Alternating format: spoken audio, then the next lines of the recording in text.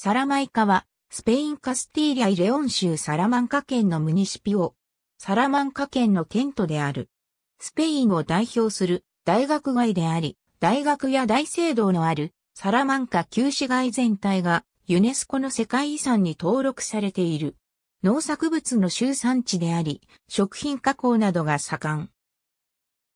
化学製品や陶器製造なども行われている。近隣の都市としては、約110キロ北東にバリアドリッド、130キロ東にセゴビアが位置している。シューベルトの歌劇、サマランカの友人たちは、ここを舞台に描かれる。2008年のアメリカ映画、バンテージポイントは、サラマンカの広場を舞台としている。サラマンカを本拠地とするサッカークラブに UD サラマンカがある。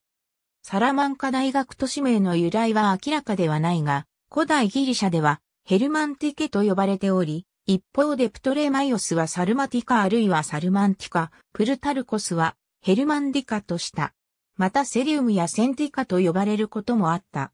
古代ローマ帝国の時代にはサルマンティカとして知られ、交通の要所として重要な役割を果たした。トライアヌス帝の時代に建てられたローマ橋が有名である。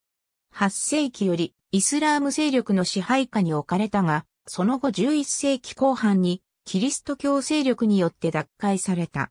1218年にレオン王国のアルフォンソ9世の下でスペイン最古の大学サラマンカ大学が建てられた。この大学で新大陸の統治に向けての法的整備や対抗宗教改革の諸思想が形成された。